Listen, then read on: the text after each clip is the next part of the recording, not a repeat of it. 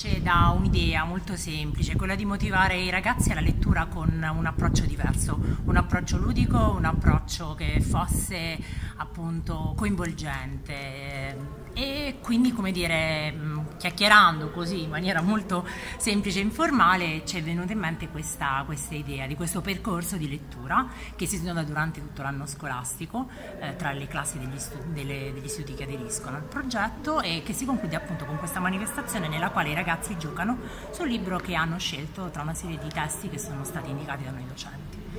Il progetto è un progetto che abbiamo appunto elaborato in continuità eh, con eh, noi del liceo scientifico, con appunto la nostra scuola partner, la Mazzini, e che piace anche alle altre scuole, per cui quest'anno appunto anche D'Annunzio, Orsogna e addirittura anche l'Anfas ha voluto, hanno voluto partecipare alla, all'attività. Moni, vuoi dire qualcosa? Sì, le, le collaborazioni sono fondamentali perché gli istituti eh, mettono in campo le loro risorse che sono i docenti, una, uh, risorse trasversali noi diciamo in termini tecnici, tanti insegnanti di materie diverse, quindi di lettere che collabora e organizza insieme alle scienze motorie. E poi ecco, i partner sono importanti come Lanciano Lab, Liberadio.it. Oggi abbiamo la prima postazione giovani del, del, nostro progetto Una radio per la scuola che sta in diretta eh, social. E, e, poi abbiamo l'Aniped eh, con il dottor Bellisario che ci ha assistiti per la, tutto, tutta la fase progettuale anche della, della valutazione e altri dirigenti scolastici esterni.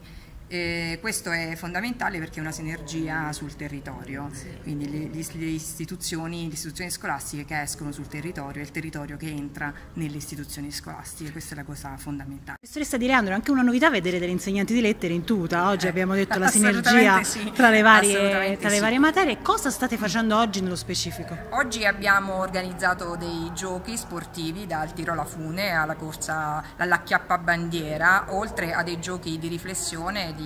role playing e, mm, e, e in più eh, ci sono due giurie, una giuria tecnica che eh, valuta eh, le, la performance sportiva, c'è una giuria di qualità eh, che valuta, ecco qui l'indirizzo pedagogico, eh, valuta altro, cioè la riflessione, ad esempio il primo punteggio è stato assegnato per un video realizzato dalle squadre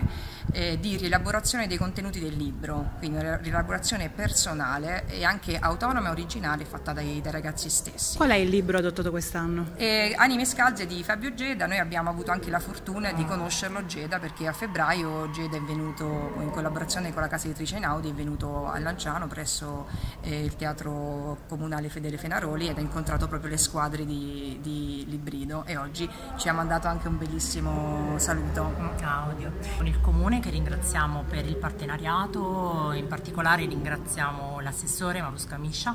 dell'appoggio, della fiducia anche che mm. ci ha dato sin dagli esordi di questo progetto e come diceva appunto la collega la sinergia è importante e quindi anche grazie al patrocinio del, del comune che siamo oggi qui a giocare.